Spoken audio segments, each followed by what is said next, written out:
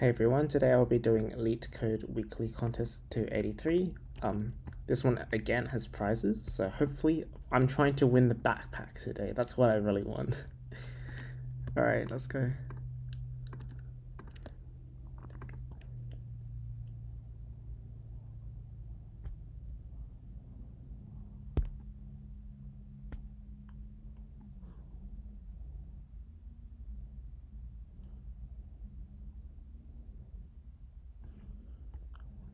Oh, what? um.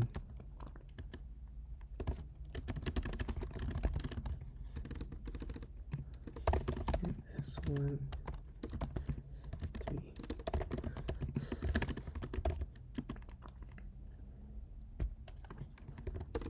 Probably convert this to quartz.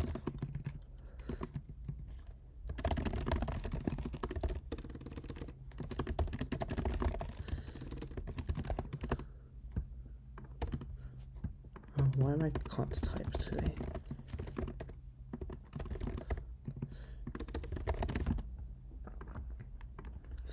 Should do it. K1, K2, L1, L2.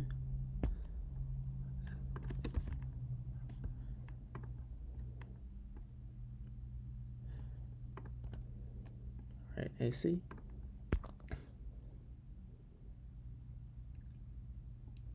unique characters.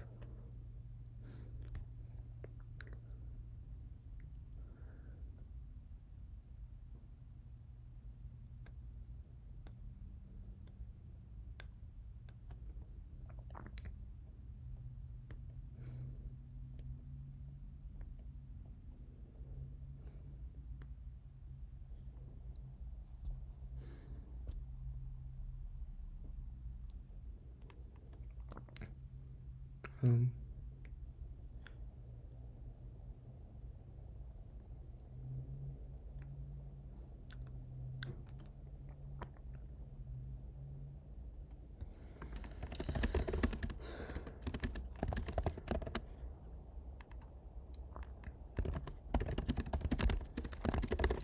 I don't think this is the intended approach, but I'm doing it. Uh, I'm just gonna sort it.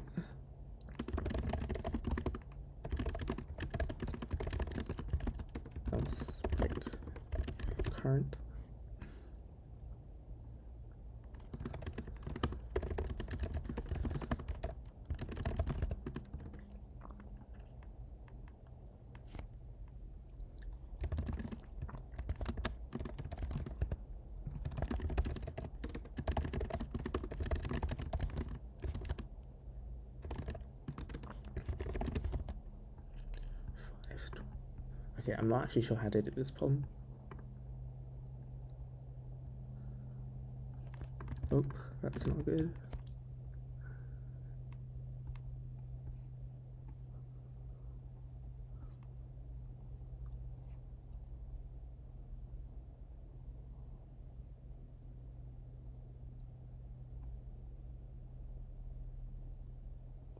Oh, okay.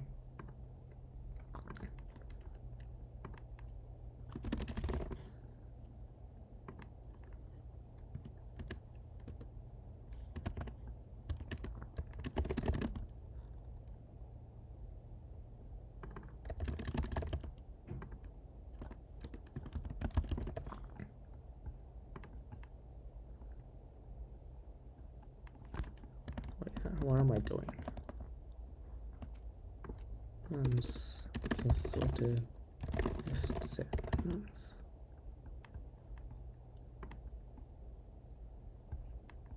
794.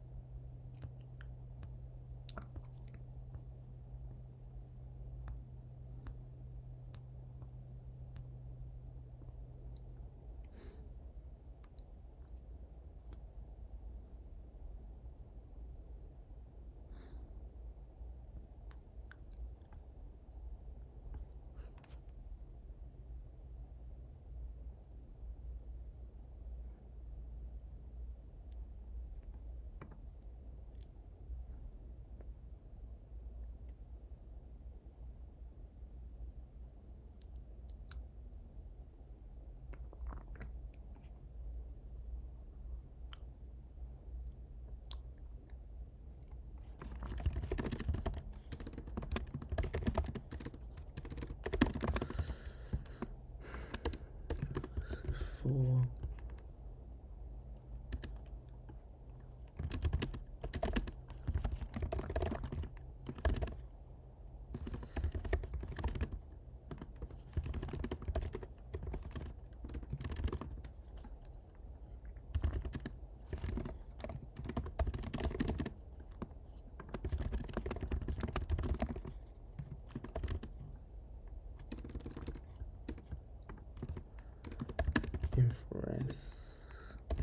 Left.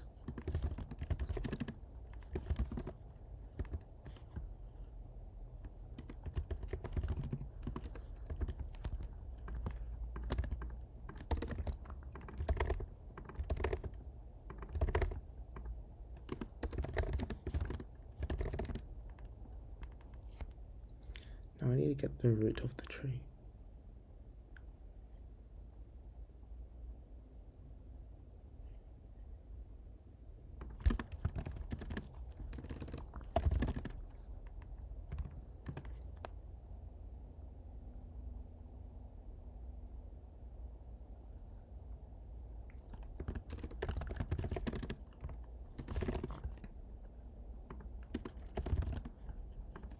I to make it a set as well.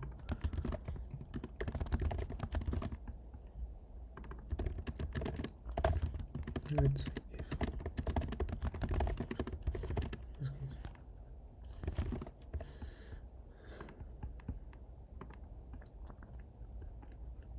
that doesn't look good. Okay, so I got the root correctly.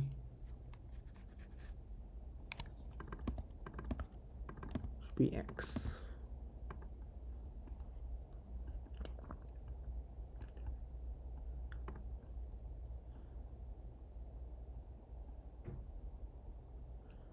Right.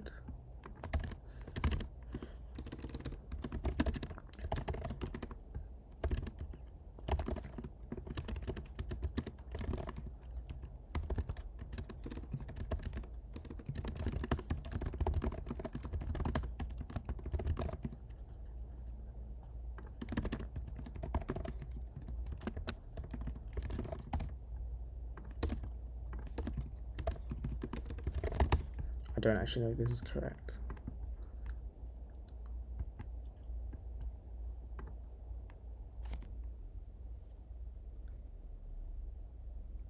No, it's not correct.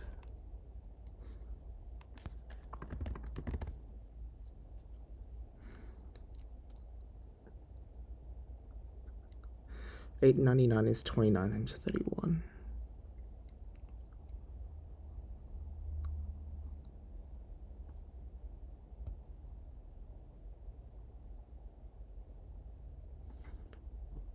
Replacing them in any arbitrary order will lead to the same result.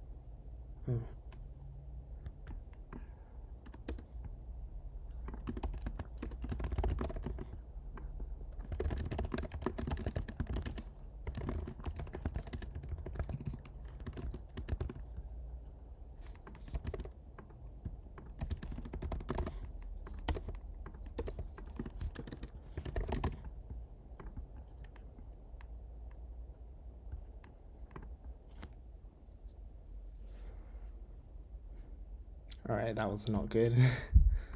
um, I think that was a fast solve, but it was it was an all right solve, but I have the two penalties, which is not good. Um, it's only been nine minutes, so the things aren't out yet. So I'll just go through the solutions really quickly. Okay, I'm a bit disappointed because I could have done well, but then I didn't. I kind of threw a little bit, but um, in this one, it's pretty simple. So first, um, I'm just going to pass the input. So here, A and C represents the row letters, and B and D will represent the row numbers. Then I just loop for each row number for each row letter and then I loop for each column number and I'm appending that to the result. And the way I'm looping between numbers, to loop between numbers, I'm just using a simple for loop. To loop between letters, what I'm doing is I'm taking the ASCII, like the character codes, looping from that and then converting those ASCII codes back into characters.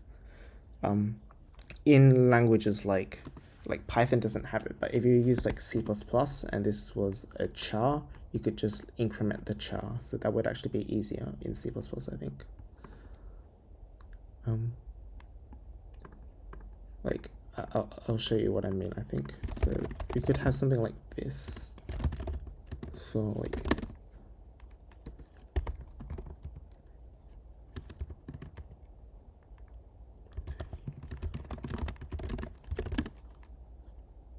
um, we don't even in like you don't even need to typecast this into an int. You could also do that with a char since we guaranteed they're one digit numbers. Um,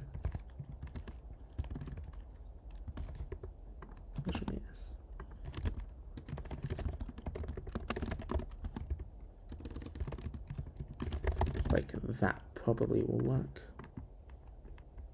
Hope.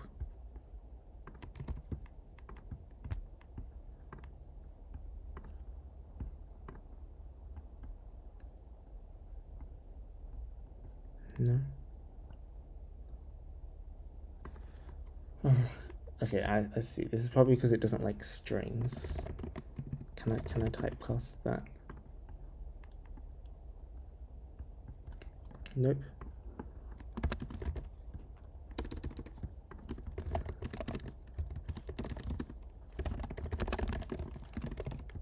I don't know how to use C++. No conversion. Okay, I give up. Apparently I just do not know how to use it.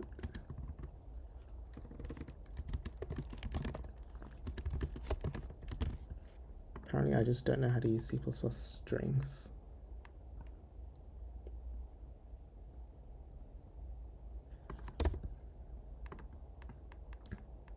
There we go. That works.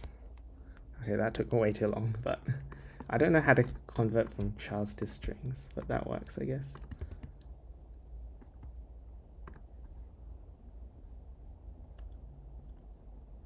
Alright, it looks like, yeah, unfortunately I do have a really long penalty, but we'll keep going. Okay, this is the one that tripped me up. I do not know the smart way to do this. So the way I worked it out was, um, in the final list, let's say that there wasn't any numbers.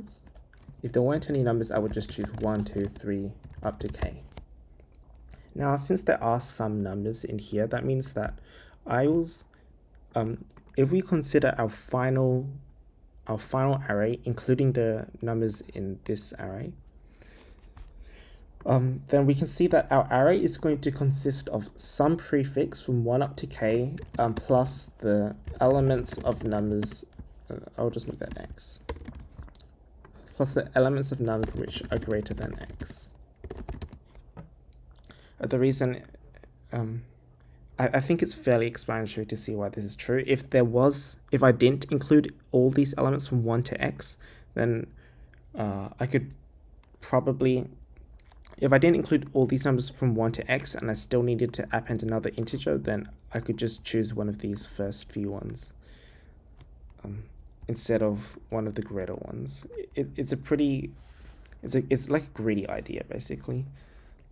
I think it's it might be easy if I like explain on like an array. So let's say I have this sorted array, and then if I choose k equals to 5, um, what I would want to do is I would want to greedily keep taking the, the lowest integers that don't appear, and I'll do that until I've added 5 elements. So in this case, it will look like, like that.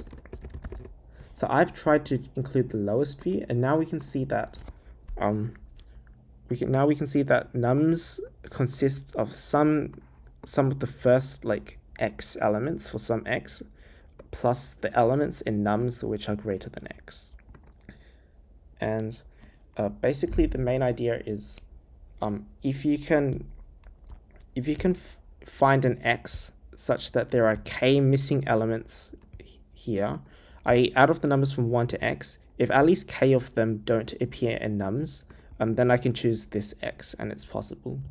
And if I chose a greater x, that would give me a wider range of numbers to choose k out of from. And that means that um, if I can choose an x such that out of the numbers from 1 to x, at least k of them aren't already taken, then for any y which is greater than x, I can do the same. And that means I can binary search on the lowest possible x such that it works.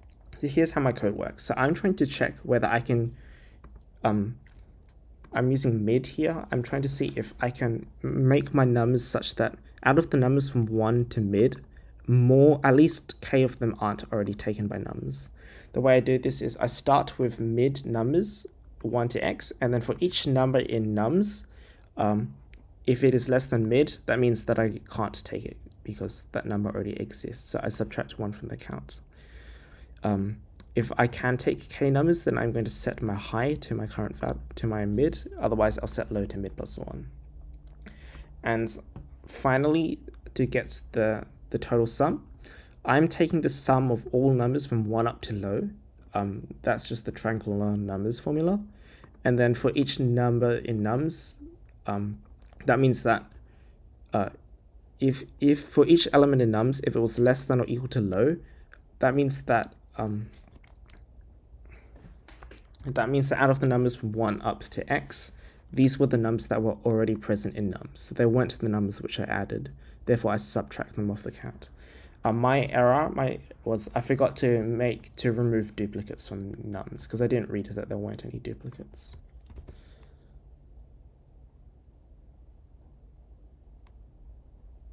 Okay. Uh, this doesn't look very good for me. I think I can still win like a water bottle or something, but not a backpack, which was what I was trying to go for. Um, I'm a bit upset at myself actually because that could have been quite a good time. Uh, anyway, for this question, uh, first I'm storing two dictionaries, left and right. Um, left x represents the node which is the left child of x, and then similarly for right. Um, all I do here is I pass the input for each parent, child, and is left. If it's left, then I'm going to set the left of parent to the child, otherwise I set the right of the parent to the child. And then recx, uh, th this returns the subtree rooted, rooted at x. So first I construct a tree with where the root is x. Um, if x has a left child, I'll set the left child of this resulting tree um, to the recursively the subtree rooted at that left node. And then I'll do the same for the right. If the right child exists, then I'll set the right, right child of this tree to the recursively generated subtree, which is rooted at that right node, and then I'll just return it. Um, all that's left to do is I need to find out which one is the root. The root is the only node that doesn't contain a child.